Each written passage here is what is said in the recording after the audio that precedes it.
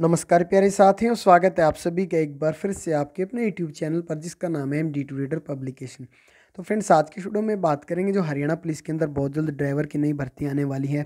उसको लेकर कल जो विधायक दल की बैठक थी बीजेपी विधायक दल की या कह सकता हूँ कैबिनेट की बैठक थी, उसमें फैसला लिया गया है।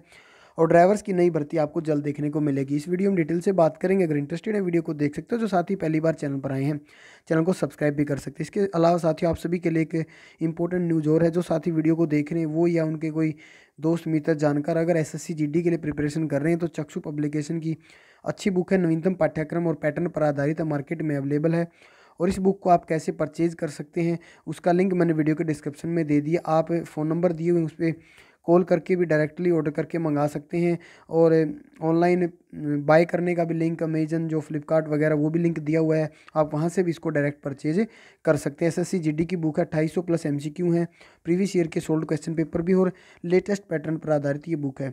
और जहाँ तक बात है, हरियाणा पुलिस ड्राइवर की नई भर्ती को लेकर देखिए, मंत्रिमंडल की बैठक में पुलिस चालकों की भर्ती पर लगेगी मोहर। हरियाणा पुलिस में जल्दी गाड़ी चालकों की कमी को दूर कर लिया जाएगा। गृह मंत्री नीलविज ने साफ़ कर दिया है कि गाड़ी चलाने का काम केवल चालकों से लिया जाएगा, न कि सिपाही, मुख्य सिपाही से या एएसआई से।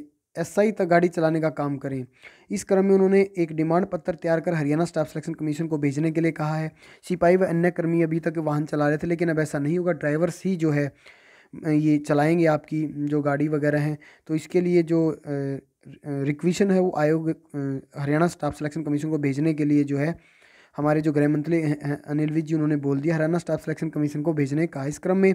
सूबे के गृह मंत्री अनिल विज ने गत दिवस राज्य गृह विभाग के अफसरों के साथ बैठक ली। इस बैठक के दौरान उन्होंने चालकों की कमी को लेकर भी अपडेट ली। इसके साथ ही काफ़ी पहले तैयार चालक भर्ती के प्रस्ताव को लेकर अपडेट मांगे। कुछ मिलाकर शीतकालीन सत्र से पहले इस पर मंत्रिमंडल की बैठक मुहर लगवाने की तैयारी है। और हरियाणा गठन के बाद से अब तक जो इसमें चालकों की भर्ती नहीं हरियाणा पुलिस ड्राइवर भर्ती के लिए जल्द ही हरियाणा कर्मचारी चयन आयोग को सिफारिश भेजी जाएगी।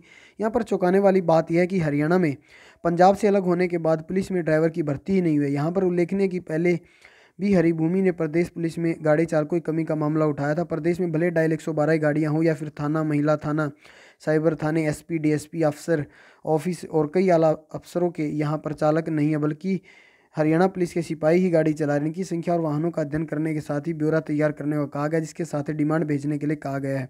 अहम बात है कि प्रोफेशनल चालक वाहनों पर तैनाती के साथ ही दुर्घटना कम होंगी और वाहन डैमेज नहीं होंगे, क्योंकि बड़ी संख्या में पुलिस के वाहनों की हालत खस्ता रहती है। तो फ्रेंड, बहुत जल्द हरियाणा पुलिस के अंदर जो है ड्राइवर की भर्ती आने वाली उस हिसाब से आप अपनी अग्रिम जो है तैयारी कर सकते हैं, अपने डॉक्यूमेंट वगैरह प्रिपेयर कर सकते हैं। आज की इस वीडियो में फ़िलहाल इतना ही, धन्यवाद।